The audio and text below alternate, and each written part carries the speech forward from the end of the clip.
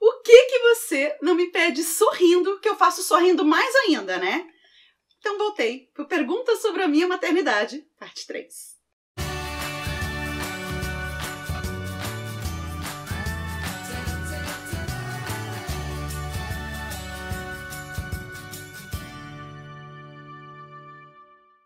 Olá, eu sou a Mônica Romero, tô muito feliz de ter você aqui comigo e hoje lendo as perguntas que vocês me enviaram lá no meu Instagram, querendo saber mais coisas sobre a minha maternidade. Deixando muito claro que eu tô falando sobre as minhas experiências pessoais, não quer dizer que elas encaixam para todo mundo, mas no meio delas sempre tem alguma diquinha, alguma coisa ali que vale a pena. Então vamos lá? Vou começar lá de... Nossa, é muito, é muito, é muito, é muito, é muito, é muito. Eu não vou conseguir ver todas nesse vídeo. Tô meio na dúvida se eu vou precisar fazer um parte 4. Se eu não fizer parte 4, escreve aqui se eu devo fazer ou não. Vamos lá. Uh, opa, fiz bobeira. Em qual hospital você teve seus filhos? Recomenda? Eu tive os dois. Quem falou foi Aprendendo com a Isis. É, eu tive os dois filhos na Promatre Paulista, recomendo, adorei, não tive qualquer problema, qualquer dor de cabeça, pelo contrário, adorei mesmo. A Beatriz perguntou: como você lidou com a segunda gravidez tão cedo? Beatriz, primeiro com susto, depois com medo, depois só deixei fluir, porque ficar sofrendo por aquilo não ia me trazer soluções.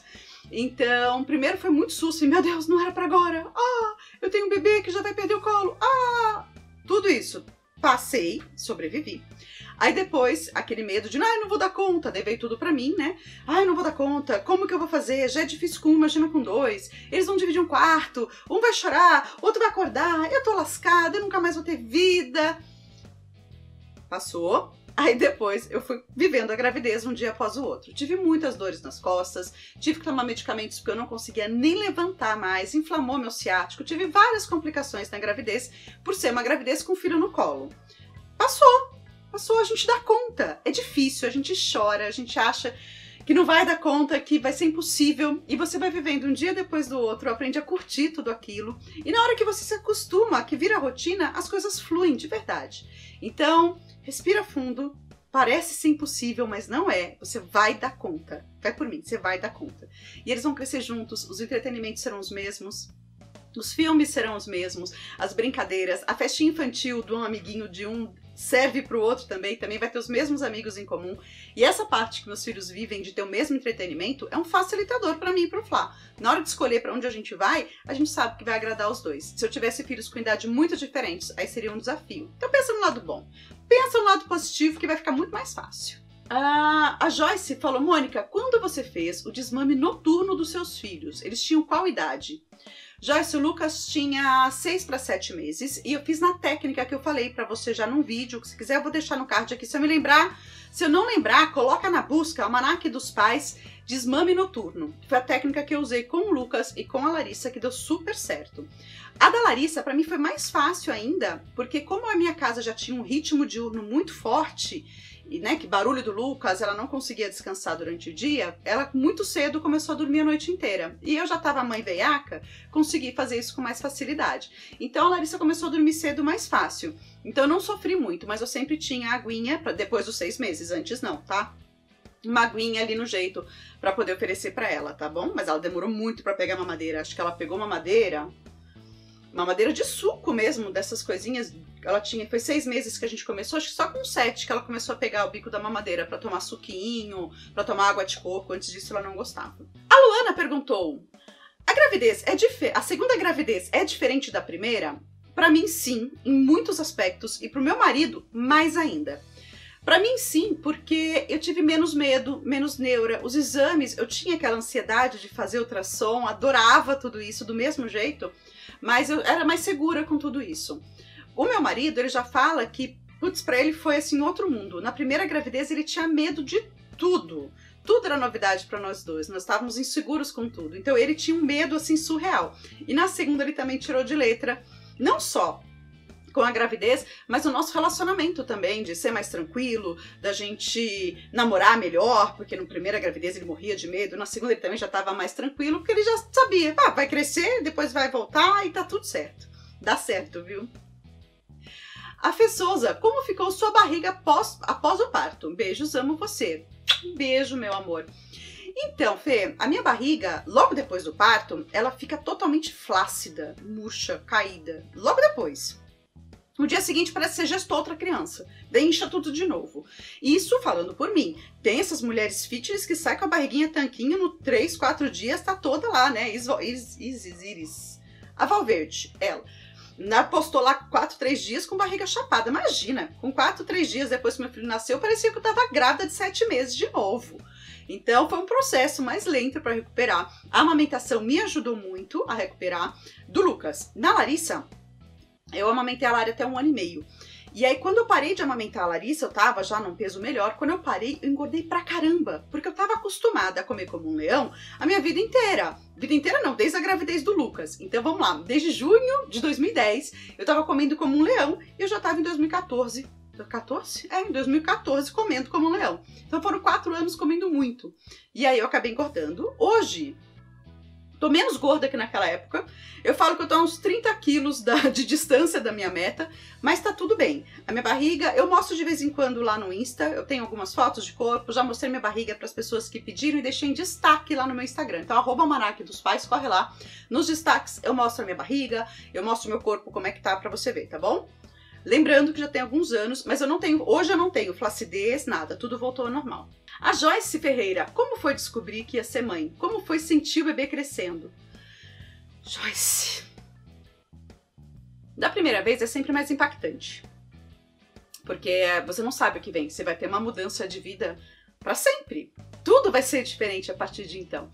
Então, da primeira vez, foi assim: a gente já estava esperando, a gente queria, foi planejado, mas a hora que fala que é verdade, você fala: Meu Deus, e agora? Como vai ser? Eu vou saber fazer? Eu vou ser uma boa mãe? É, eu vou dar conta? Eu vou deixar meu filho morrer? Vou fazer coisa errada? Vou derrubar ele no chão? Vem muitas inseguranças, mas ao mesmo tempo, uma força pra gente poder encarar isso com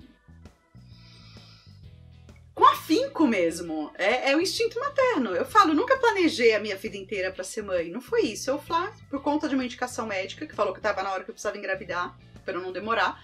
Por conta dessa indicação, a gente acelerou os planos, eu já engravidei rapidinho. E foi assim, foi um susto. E aí, à medida que o Lucas ia crescendo, eu ia me vendo mãe, eu ia me tornando mais mãe. Então, eu fui planejando ser mãe durante a gravidez inteira, imaginando como seria, sentindo, conversando, vendo cada, cada mexidinha. Ele mexeu a primeira vez, ele, eu tava com 17 semanas, quando eu senti a primeira borboletinha. E aí depois, quando ele nasceu, colocaram ele no meu colo, aí foi a melhor sensação do mundo. Aí nasceu a mãe, Mônica, babona, chorona. E. Cara, é demais. Dá um trabalho, mas é demais. É incrível. E eu super indico, e eu fico emocionada só de lembrar, porque foi realmente incrível, incrível. E é engraçado, quando a Lari nasceu, eu achei que não fosse ter a mesma sensação. Porque eu já tinha passado uma vez. Passar a segunda nunca é igual. E foi. E foi. Quando colocaram a Lari no meu colo, aquele chorinho de bebê, parou de chorar quando encostou no meu rosto. Pronto. Pronto. É, é incrível não dá para descrever, porque tem que viver, tem que viver. Tatá perguntou: você teve muito enjoo? Tatá, tive na gravidez do Lucas. Do Lucas eu tive muito enjoo, no sentido de tempos prolongados. Não eram fortes, acho que eu devo ter vomitado uma ou duas vezes, escovando o dente pela manhã, mas eu tive durante longos períodos. Depois eu descobri que é porque eu só almoçava e ia comer de novo 10 da noite, que era a hora que eu chegava em casa do trabalho. Esse longo período em jejum que dava uma hipoglicemia que me dava enjoo. No caso da Lari, eu enjoei mais. Eu fiquei mais tempo enjoada, mais tempo nauseada. O enjoo era, era durava o dia inteiro, ficava o dia inteiro, parecia que estava com intoxicação alimentar. Eu nunca fui de vomitar muito, mas de me sentir mal, aquela ressaca braba, sabe? Era por aí.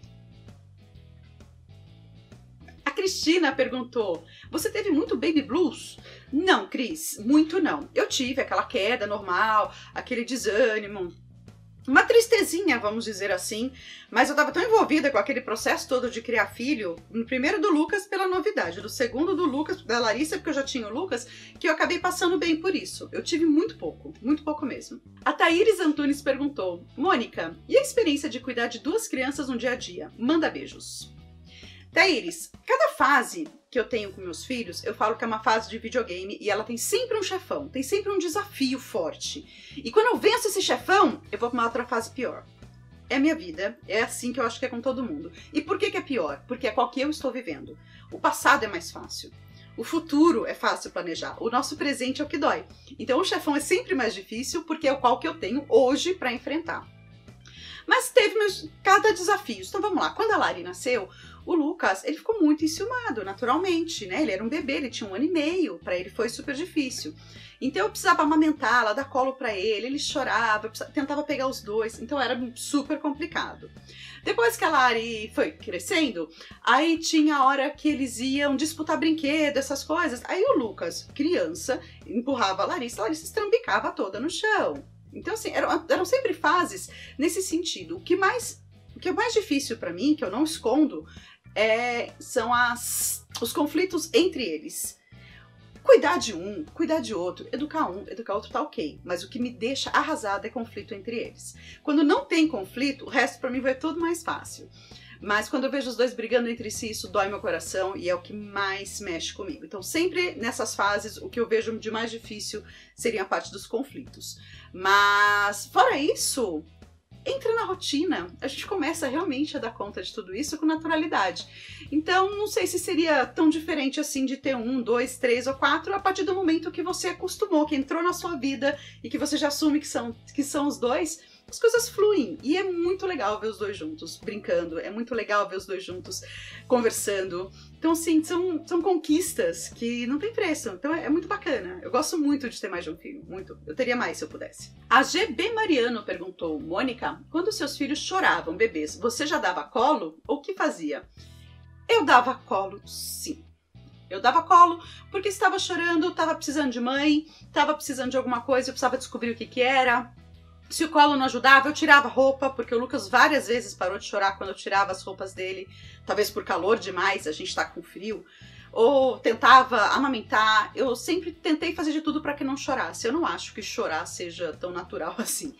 Mas como eu disse, é, eu, meus filhos eles não tinham cólica, eles é, não tiveram nenhum outro problema mais sério, doenças que eu ficasse extremamente estressada.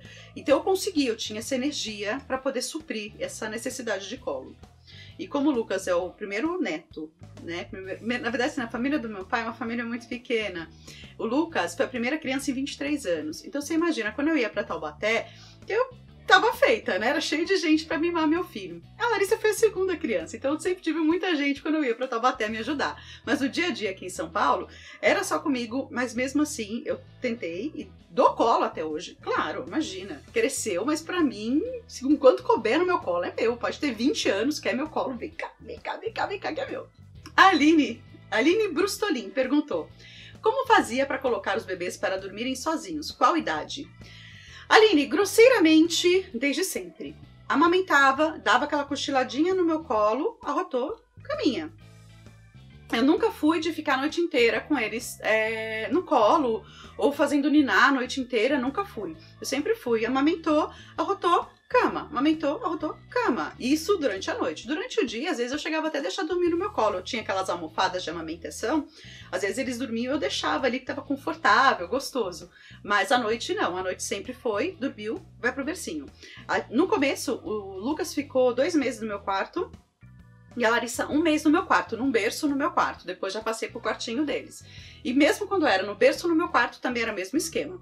Nem a cama compartilhada a gente fazia, a não ser que fique doente. Quando tá doente, é cama compartilhada sim, pra eu ver se tá com febre, pra eu poder medicar, pra eu poder abraçar, pra eu poder cheirar e pra se sentirem mais confortáveis. A Jaqueline, você pretende ter mais filhos? Se não, qual método contraceptivo você usa?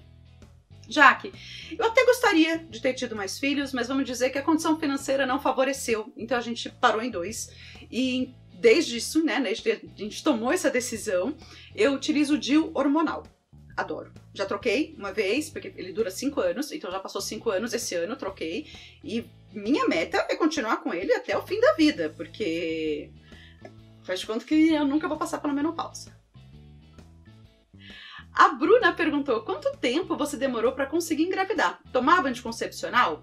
Bru, eu tomei anticoncepcional por 11 anos. Por conta de um, um tempo né, tão grande de uso de anticoncepcional, mais o meu tipo de corpo, eu acabei tendo seis tumores benignos no fígado, mas até descobrir que era benigno foi. Uf, punk demais.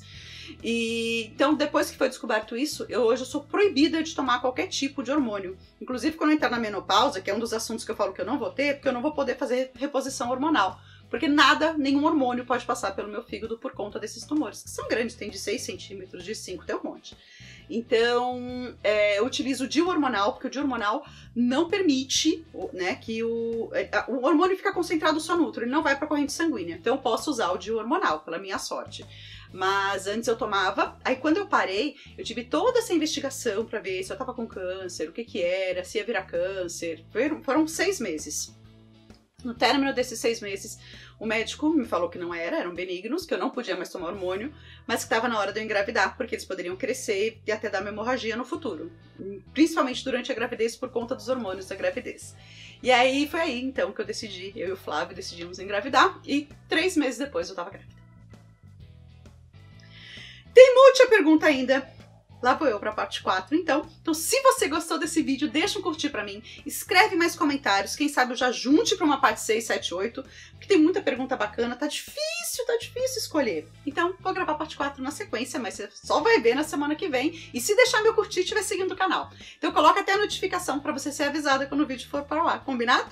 Te vejo no próximo vídeo.